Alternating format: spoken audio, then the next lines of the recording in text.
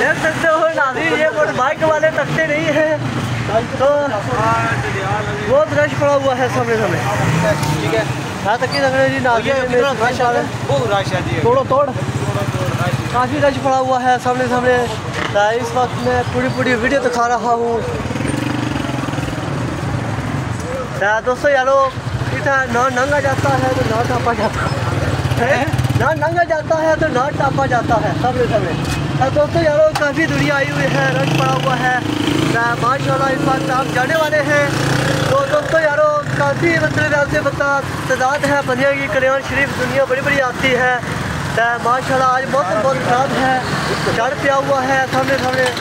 तो दोस्तों यारो इस बता बड़ा सफ़र पिया हुआ है।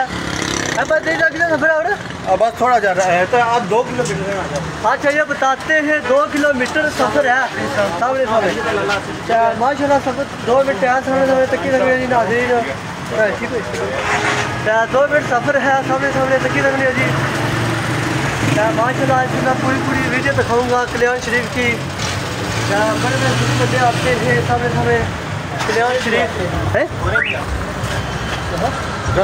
है?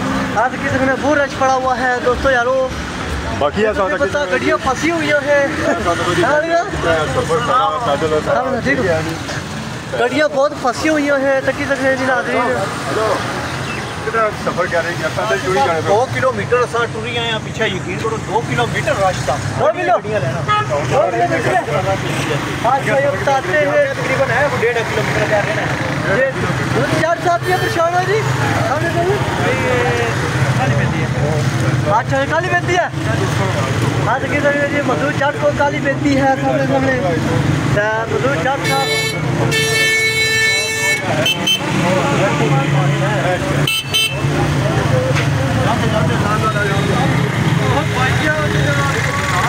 रश बहुत ज़्यादा है और ले लो।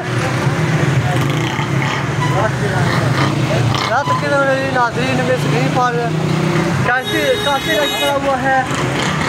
तो दुनिया काफ़ी आई हुई है लेकिन नाजरीन स्क्रीन पर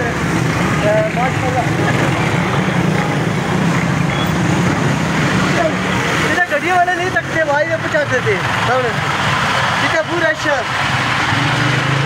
है वो पहुँचाते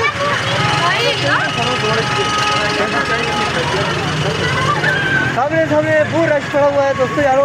इधर पंजाबियों को त्यौहार दे जाए पंजाबी गड्डी चार देते हैं? है ना? इतना बहुत रश पड़ जाता है सामने सामने। दोस्तों यारो, मैं पूरी पहला ही समझ ठीक है काफ़ी मतलब दुनिया से आती है दोस्तों यारो।